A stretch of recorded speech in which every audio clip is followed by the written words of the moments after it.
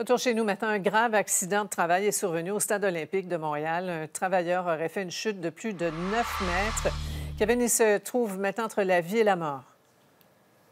Oui, exactement. Sophie, c'est un homme qui est dans la trentaine. Je présentement au pied du mât du stade olympique, là, au vestibule des affaires. C'est ici que c'est survenu ce midi. Vous le voyez euh, sur euh, ces images en direct. Là.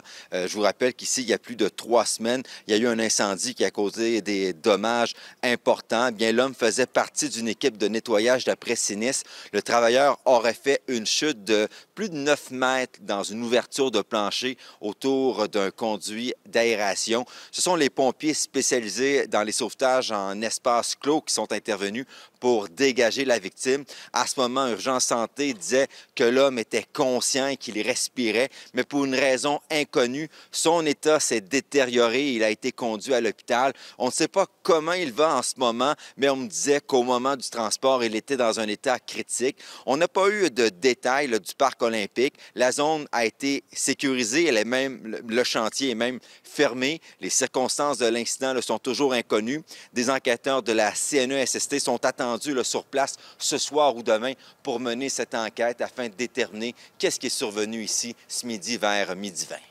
Merci beaucoup, Kevin, pour ces informations. Au revoir, Sophie.